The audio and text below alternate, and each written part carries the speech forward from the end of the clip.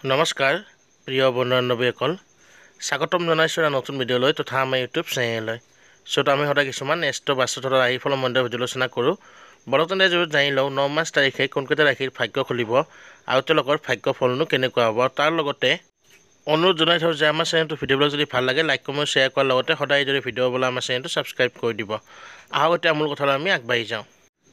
বন্ধু বান্ধৱীসকল ন মাৰ্চ তাৰিখে কেইটামান ৰাশিৰ বিশেষ ধৰণৰ ভাগ্য উদয় হ'বলৈ গৈ আছে। এওঁলোকৰ ভাগ্য আচৰিত ধৰণে সুপ্ৰসন্ন হ'ব। মনৰ ইচ্ছা পূৰণ হ'ব যি কামত হাত দিব সফল হ'ব পাৰিব দোষ দিশে উন্নতি কৰিব।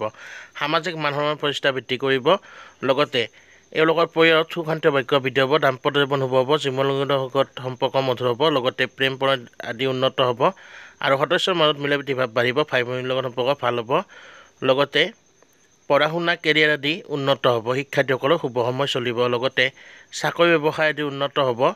স্বাস্থ্য উন্নত হ'ব আৰু আৰ্থিক অৱস্থা আদিও মজবুত হ'ব। মুঠতে চাবলৈ গ'লে দোষ দিশে এওঁলোকে উন্নতি কৰিব।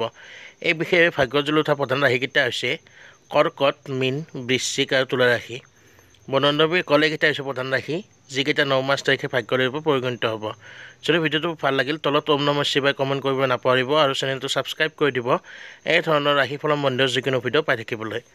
ধন্যবাদ।